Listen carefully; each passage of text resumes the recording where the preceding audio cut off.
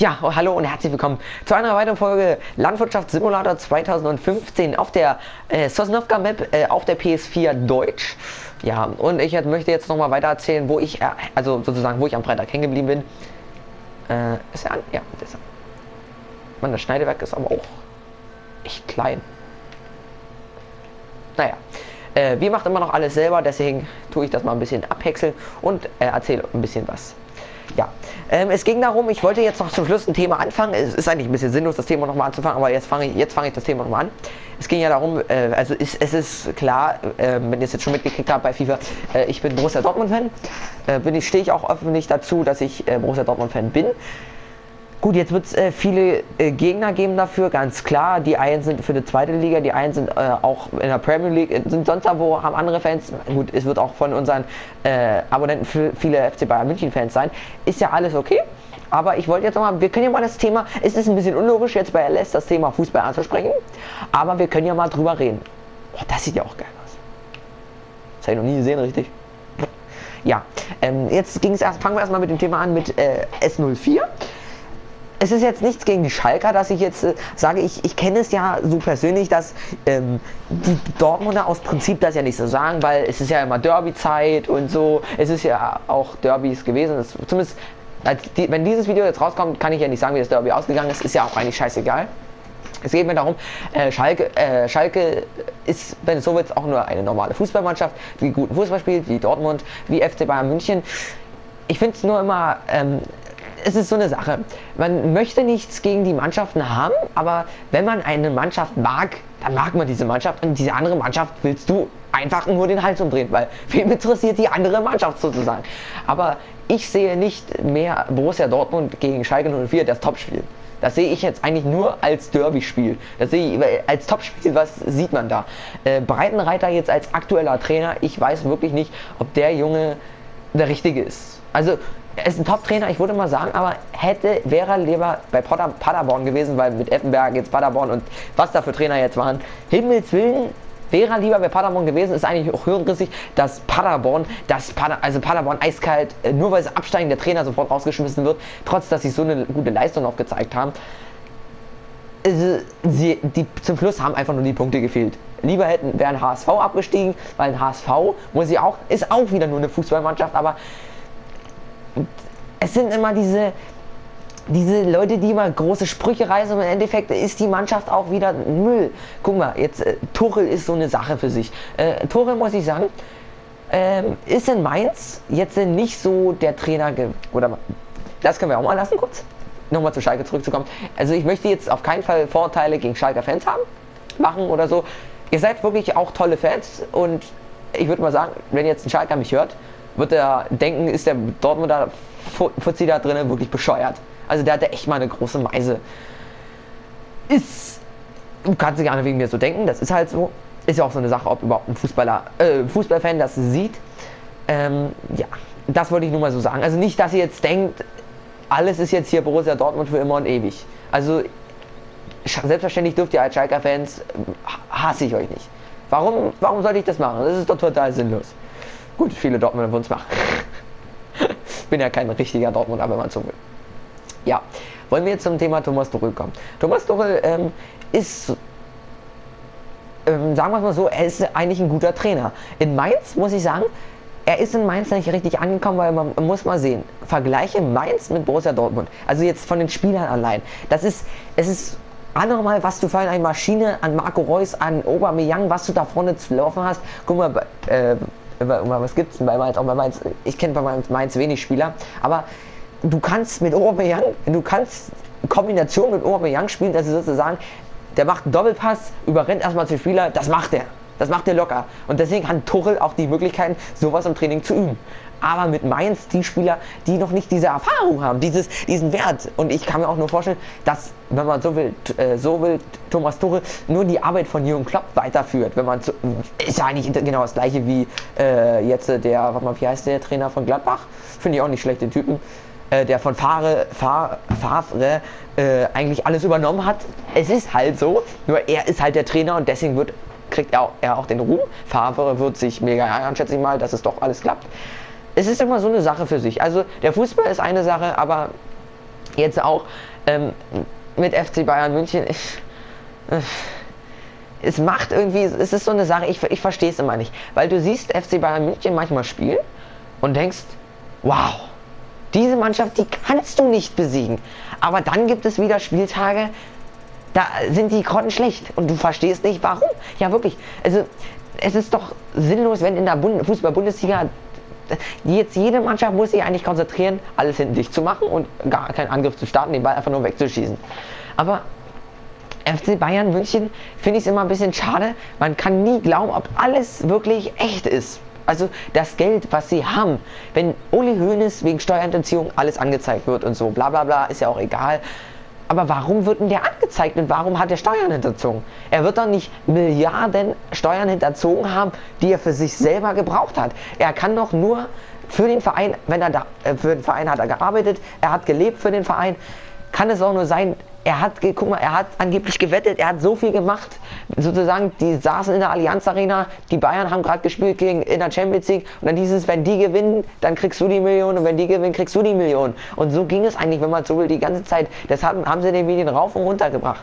Und es ist, es ist cool, klar, aber ich finde, FC Bayern München tut äh, in der Fußball-Bundesliga Spieler bringen, die in der Bundesliga noch gar nichts, gar nichts zu suchen haben, weil ein Douglas Costa, der der gehört in der Premier League, der gehört zumindest die Bundesliga. Es ist immer so eine Sache. Guck mal, Robert Lewandowski ist auch wirklich Top-Stürmer, aber immer diese, ich finde, es fehlt bei den Mannschaften immer so.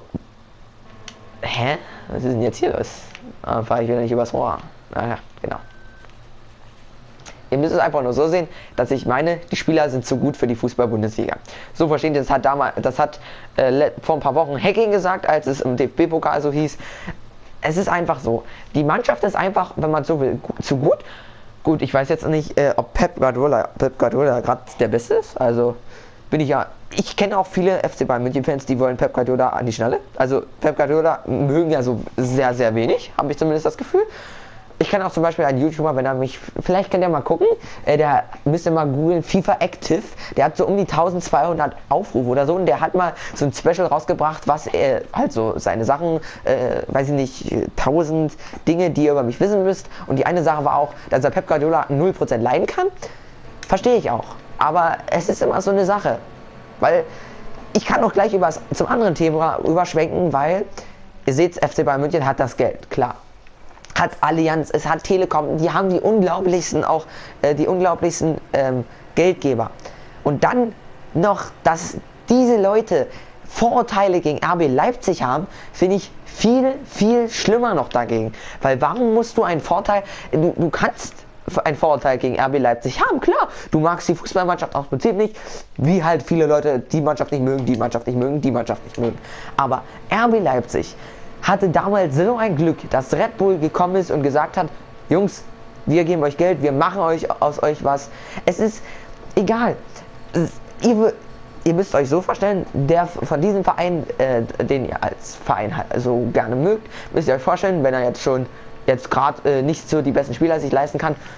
Äh, stellt euch mal vor, ein, ein riesen, ein riesen ähm, ähm, Unternehmen kommt zu euch und sagt, möchtet ihr ein, 500 äh, Millionen Euro haben und ihr könnt machen, was ihr damit wollt. Hauptsache, ihr gebt es den Verein aus. Da würde jede Mannschaft die Hände offen machen und sich freuen.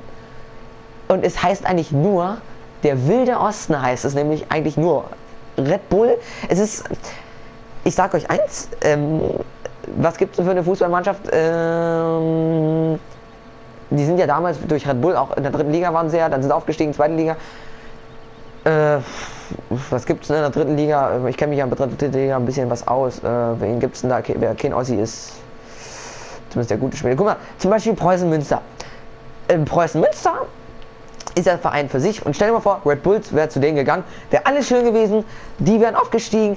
Die wären, würden auch dann bald in der ersten Liga spielen. Ist halt so.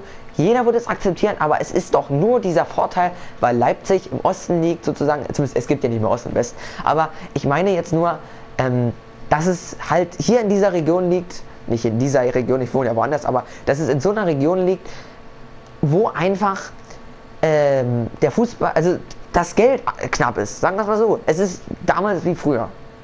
Es ist einfach nur so eine Sache. Ihr könnt gerne, in, ihr dürft gerne eure Meinung in die Kommentare schreiben, egal wie böse sie sind. Gut, wenn jetzt Schimpfwörter drin sind, äh, werden sie aus Prinzip ähm, eh äh, in den Spam-Order gelandet und ich muss sie akzeptieren. Dann tue ich sie selbstverständlich ähm, löschen.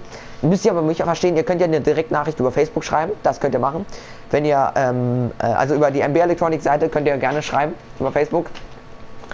Falls äh, wirklich ähm, ihr richtig sauer seid, ihr könnt es gerne mir schreiben, dann nehme ich das auch durch. Also ich würde dann auch ich würde mich auch hier, hier hinsetzen, mit euch ein bisschen Let's Playen und auch sagen, was Sache ist. Also zumindest so, wie ich es denke. also es ist immer so eine Sache. Aber ich würde es mal cool finden, wenn ihr mal auch schreiben würdet. Ich will keinen Verein in die niederreißen, weil ich mache es ja auch. Ich möchte es ja nicht. Gut, ich kenne es von vielen Situationen, dass ich manche Vereine manchmal wirklich so in Arsch treten kann. Aber es ist immer so eine Sache in der Situation, wie es zurzeit ist, weil ähm, ich kann mir nicht vorstellen, dass du äh, jetzt äh, so lieb und dass man so lieb und nett spielt. Und dann sagen wir so, deine Mannschaft spielt gegen eine Mannschaft und die Mannschaft macht dich so fertig, schießt da dir ein 8 zu 0 rein oder so, dann hast du die andere Mannschaft auch, äh, wenn man so will. Also pff, es ist eigentlich gehoppelt wie gehops. Das war ein Spielwitz. Geil. Naja. Äh, ich, ich schätze mal, ihr könnt ja auch mal ein paar Themen noch reinschreiben, wenn es jetzt nicht um Fußball immer gehen, soll. Könnt ihr ja gerne machen, aber bei Fußball äh, bin ich die Top-Adresse. Ich weiß sehr viel von der Fußball-Bundesliga, zweiten Liga und dritten Liga. Bin auch sehr aktuell und selbstverständlich habe ich auch Sky, will ich jetzt nicht angeben, aber ich schaue mir sehr viele Fußballspiele an und muss auch, bin auch eigentlich immer top aktuell. Deswegen ist immer so eine Sache. Übrigens, die nächste Folge sehe ich gerade, ist die 10. Folge. Cool, nicht? Das ist ja dann schon ein Rekord. Aber naja, es ist immer so eine Sache. Wie gesagt, wenn wir das Thema nochmal, äh, ich habe dieses Thema jetzt in dieser Folge drin, in diesem Part, aber ihr könnt gerne, ihr könnt mir gerne schreiben, wenn ich, wenn ich nochmal das Thema durchgehen soll. Äh, ihr müsst es mir nur schreiben über Facebook oder in die Kommentare halt. Ich glaube, private Kommentare über YouTube geht auch. Es geht auch noch ein bisschen zwischen. Das habe ich mal. Ich habe manchmal private Kommentare bekommen, die nicht öffentlich, öffentlich gepostet worden sind, komischerweise. Das könnt ihr auch machen, schätze ich mal. Naja, ist ja so eine Sache. Die Leute, die viel auf YouTube sind und Kommentare schreiben, die wissen, wie das funktioniert. Hoffe ich. Wenn ich einfach nur googeln, äh, Privatkommentare, YouTube, in Google eingeben, einfach mal so. Werde bestimmt eine Antwort kriegen. Heute ist ja der 9. Fällt mir gerade so ein. Ach, Leute.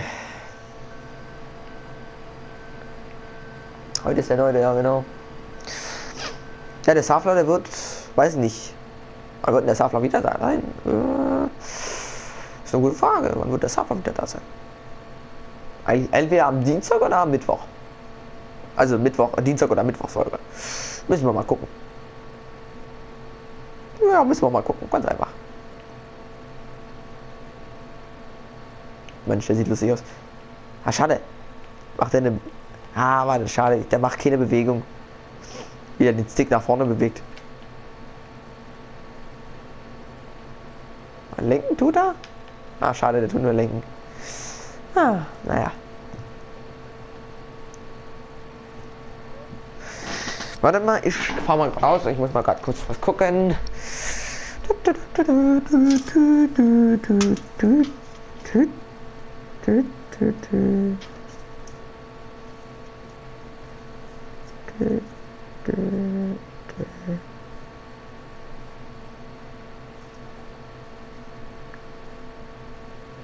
Hm. Naja. Man denkt sich immer sein Teil. Egal, Selbstgespräch muss auch sein.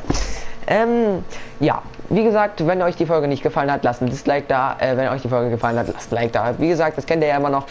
Und bleibt dabei, ihr könnt gerne alles schreiben, was ihr wollt, in die Kommentare oder per Facebook.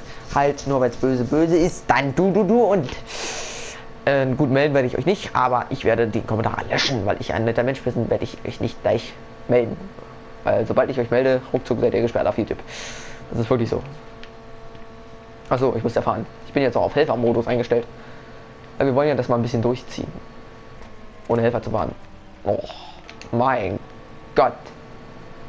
Gut. Ich wünsche euch einen wunderschönen Montag. Nachmittag, gut, Montag ist immer scheiße. Aber vielleicht hat euch die Folge ein bisschen weitergeholfen. Und dann sehen wir uns am kommenden Dienstag Und ja.